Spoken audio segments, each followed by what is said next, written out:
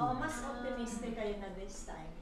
Yung endo bill mo will really pass. You know, whether it's going to be prioritized or not, we will continue to push through with our uh, measure, with the uh, pet bill na itinuturing nating napakahalaga at napaka-importante.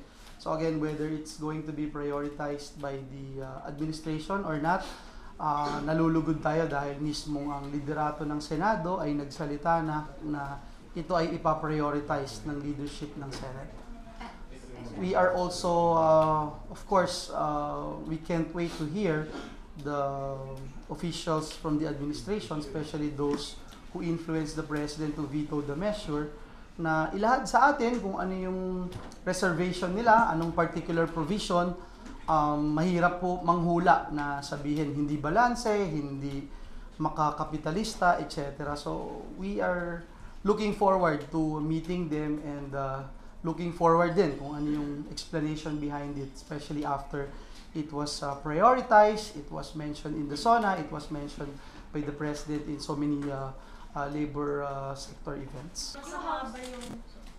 Sorry. Masama ba yung loob kay Presidente? Masama ang loob ko sa buong administrasyon. Ah, hindi ko naman ho tinatago yun. Ah, siguro naman kahit sino po sa atin yung lumagay dun sa posisyon ko, maiintindihan kung ano yung nararamdaman po natin.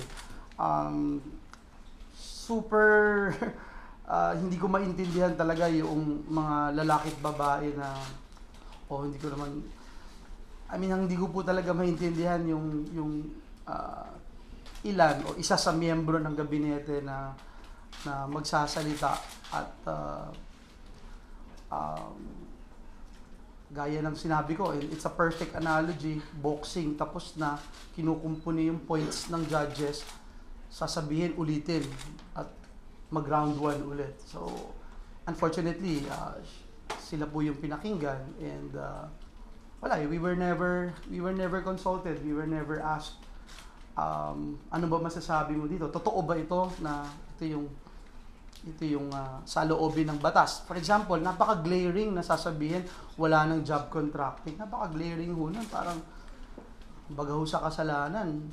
Major cardinal sin yan. Parang Dahil- ano yun, sir? Tama bang sabihin na parang, kasi hiningi ko nung SONA yun, 2016. Parang somehow nagamit kayo sa propaganda na gusto ko to, pero eventually babasura. That's what I mentioned during my privilege speech that somehow it appears that we were misled and we were um the least to say is uh, nagamit doon sa proseso sapagkat the whole time as I would say it again the whole time the Department of Labor and Employment eh kasakasama ho namin the whole time uh, kayo lahat wag na ho yung dole. Kayo na lang po lahat dito sa Senado. The whole time saksi ho kayo dun sa mga ginagawa ho natin. At uh, pinag-uusapan um, pinagdedebatihan yung uh, definition ng labor only contracting tatlong taon natin dinebate. Ano ba yung definition nito? At ilang beses po natin sinasabi that this will not uh, uh, ban all forms of contractualization. And yet uh, until now kahit sa media may mga naglalabi pa rin. Yun ang inilalabas total ban of contractualization. Hindi naman po kasi mayroong job contracting. Ang iniiwasan ho natin yung fly by night iniiwasan natin yung nagpapatupad ng endo iniiwasan natin ang aabuso ng mga manggagawa. Sa ngayon ho pag kami nahuli na nagpa-practice ng endo ni walang penalty eh.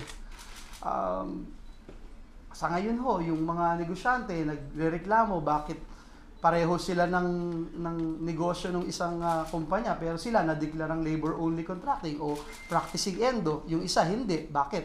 Baka daw mas malakas, baka naglagay o nagpa-practice ng corruption. So, ah, yun, pinuna natin husto yun at ah, ginawa ho natin yung pinaghirapan nating batas. So, again, kung sasabihin ko pong hindi ho ako nagtatampo at mm, walang sama ng loob, I'll be a hypocrite. Sir, Sir, di ba kayo nangangamba na baka maging next Senator Richard Gordon?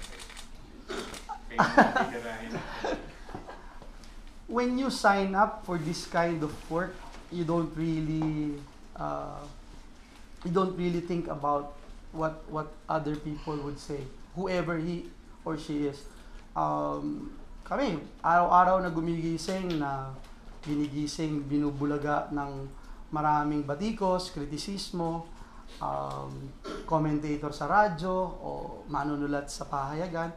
And life just goes on. Uh, we just do our job at lagi ko pong sinasabi, importante at the end of the day, merong kang kapayapaan na alam mong anytime na humarap ka sa iyong creator, sa ating Diyos, uh, you have the peace of mind to say that uh, you have done your part, you did your best, and uh, anytime nakuhanin tayo ng Diyos, uh, malinis ang ating konsensya. At alam natin yung calling natin at we're just fulfilling our calling. Sir,